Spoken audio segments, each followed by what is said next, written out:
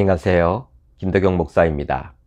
오늘 하루도 우리 주님과 동행함으로 순간순간 우리 주님의 일하심을 맛보았으면 좋겠습니다. 자, 오늘 우리가 나눌 말씀은 잠언서 24장 30절로 34절, 잠언서 24장 30절로 34절입니다. 제가 읽겠습니다.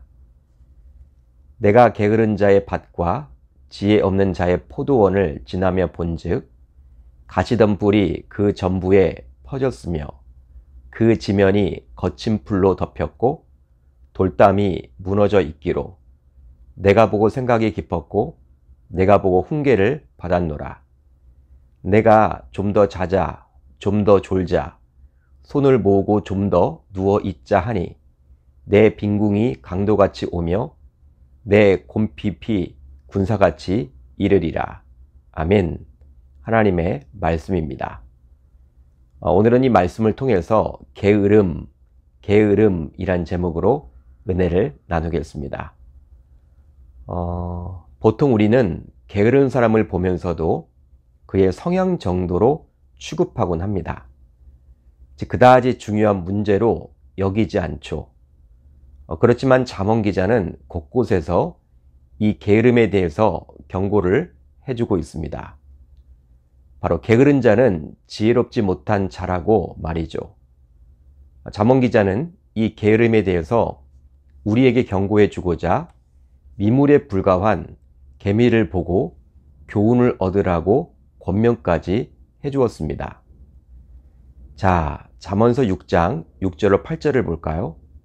게으른 자여, 개에게 가서 그가 하는 것을 보고 지혜를 얻으라. 개미는 두령도 없고 감독자도 없고 통치자도 없으되 먹을 것을 여름 동안에 예비하며 추수 때 양식을 모으니니라. 아멘. 어, 요즘 도시에서는 보도블록이 깔려 있기에 개미를 쉽사리 보지 못하는데요. 그러나 가까운 안양천에 가보게 되면 흙길이 깔려 있습니다. 그 흙길을 유심히 걷다 보면 개미를 볼 수가 있는데요. 그 개미를 유심히 관찰해 보면 참 부지런하게 다님을 알 수 있죠. 어, 특별히 자신의 몸보다 훨씬 큰 곤충을 먹이로 잡게 되면 때를 지어서 그 곤충을 자신의 집으로 이동시키곤 합니다. 바로 지금은 배가 불러도 나중을 위해서 그 먹이를 가져가는 것이죠. 자몽 기자는 이런 개미의 모습을 통해서 우리가 지혜를 얻어야 한다라고 권면을 해주고 있습니다. 바로 게으름과는 분명히 다른 성실함, 즉 부지런함을 배워야 한다고 말이죠. 오늘 본문 30절 이하를 보게 되면 자몽 기자는 자신이 경험한 일을 회고하며 저와 여러분들에게 교훈을 주고 있는데요. 자, 30절로 32절을 볼까요? 내가 게으른 자의 밭과 지혜 없는 자의 포도원을 지나며 본즉 가시던 불이 그 전부에 퍼졌으며 그 지면이 거친 풀로 덮였고 돌담이 무너져 있기로 내가 보고 생각이 깊었고 내가 보고 훈계를 받았노라. 어, 자문 기자는 게으른 자의 밭과 지혜 없는 자의 포도원을 보고 깨닫게 되었는데요.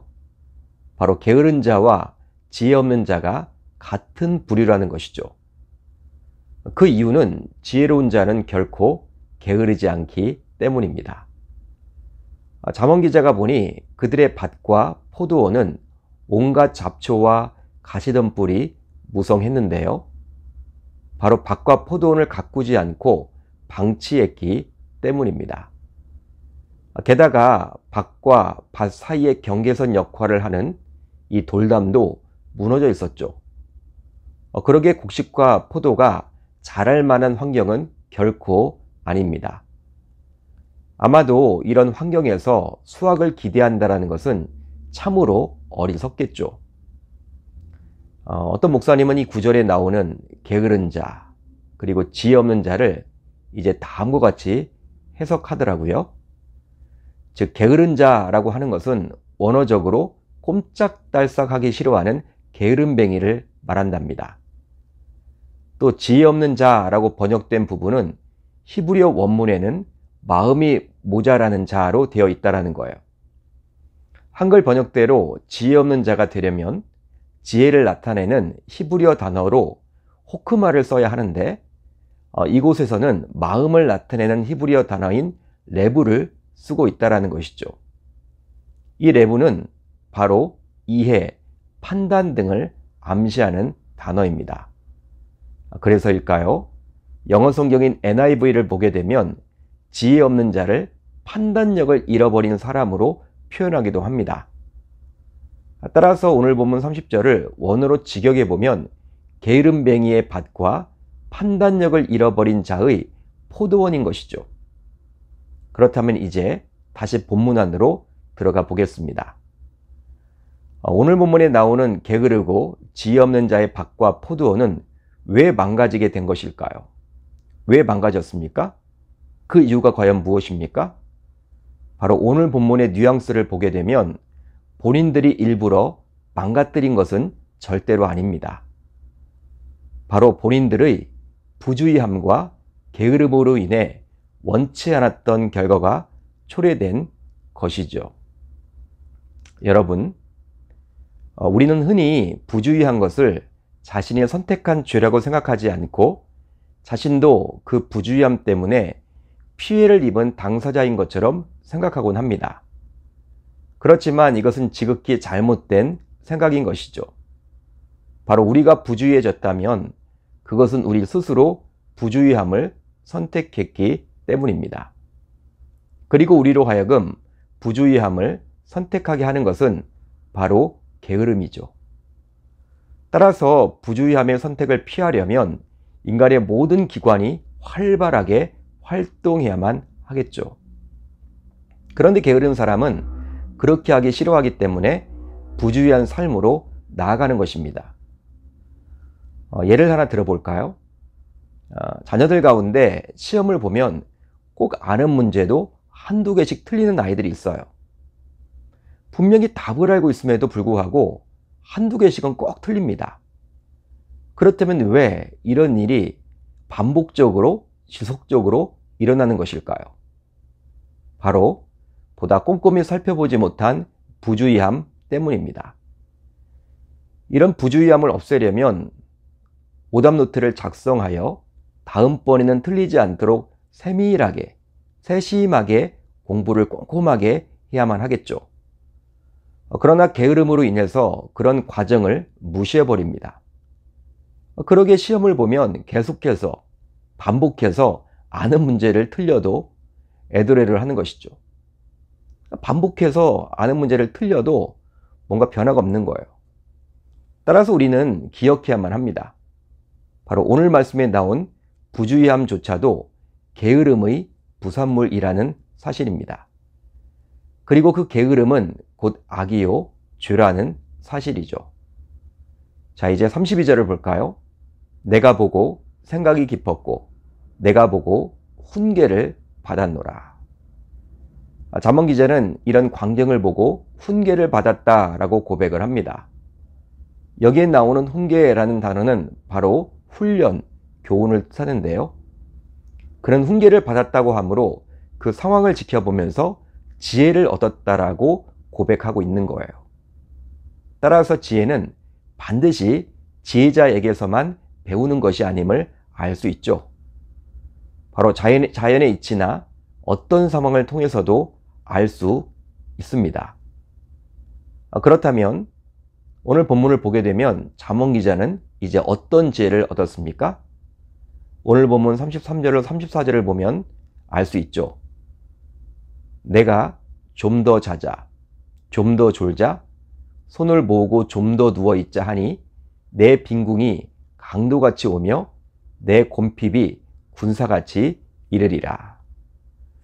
바로 게으르면 가난이 강도처럼 곰핍이 군사같이 들이닥친다라는 이 진리를 깨닫게 되었습니다. 어, 실제로 강도와 군사는 예고 없이 어느 순간 찾아오죠. 미리 알리지 않고 찾아오는 것이 바로 강도와 군사입니다.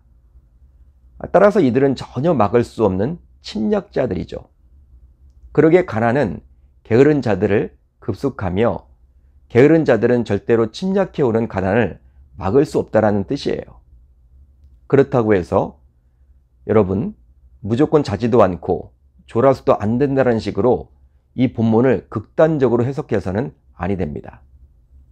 즉 인간으로서 잠을 자는 것은 당연하고 피곤하면 졸 수도 있고 힘들면 또 누울 수도 있겠죠. 그것 자체가 죄는 아닙니다. 그런데 문제가 있죠? 바로 이런 일 자체가 나쁜 것은 아니지만 과도하게 자거나 졸거나 눕는 일이 나쁘고 죄라는 거예요. 그렇게 되면 결국 육체의 게으름과 마음의 부패로 주어진 의무를 충실하게 할 수 없기 때문입니다. 따라서 이 말씀을 듣는 우리들 모두 신자로서 게으름은 죄이며 결국 게으름은 불행한 삶으로 이끈다라는 사실을 기억하며 보다 부지런하게 삶을 살겠노라고 다짐하고 결단할 수 있기를 우리 주님의 이름으로 축원합니다. 축원합니다. 자, 이제 우리 공동체가 함께 나눌 기도 제목인데요. 우선 게으름은 죄임을 깨닫고 이제부터 보다 부지런히 살게 하소서. 다음입니다. 7월에 진행될 다음 세대 여름 성경학교와 수련회를 통해서 자녀들이 하나님을 인격적으로 만나게 하소서.